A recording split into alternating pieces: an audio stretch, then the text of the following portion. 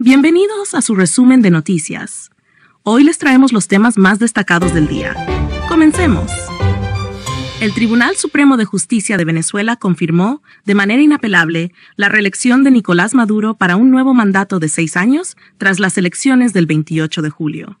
Este fallo, emitido el jueves, ha generado tensiones en un país ya profundamente polarizado. La presidenta del TSJ, Carislia Rodríguez, anunció que la Corte revisó cuidadosamente la documentación proporcionada por el Consejo Nacional Electoral y concluyó que los resultados oficiales son legítimos. Según Rodríguez, las actas de escrutinio avalan los boletines emitidos, los cuales dieron a Maduro la victoria. Este resultado fue ratificado en la madrugada del 29 de julio, consolidando así su continuidad en el poder.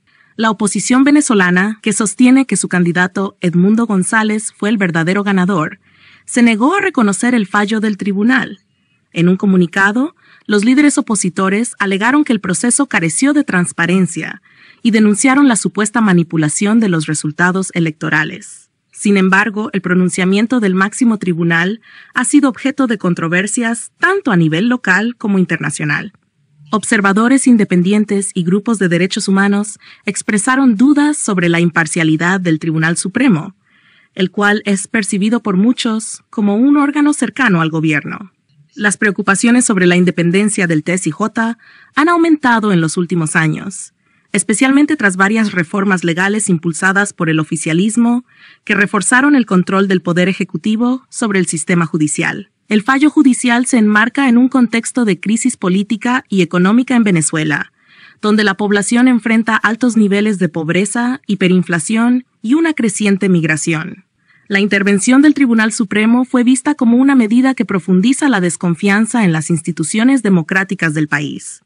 Mientras tanto, el gobierno de Maduro celebra esta ratificación como una victoria sobre las fuerzas opositoras que, según el oficialismo, buscan desestabilizar al país. Con esta sentencia, el TCJ cerró cualquier posibilidad de recurso contencioso electoral, lo que deja pocas alternativas legales a la oposición para desafiar los resultados. En medio de estas tensiones, el futuro político de Venezuela sigue siendo incierto, con una sociedad profundamente dividida y una comunidad internacional que observa de cerca los eventos en el país.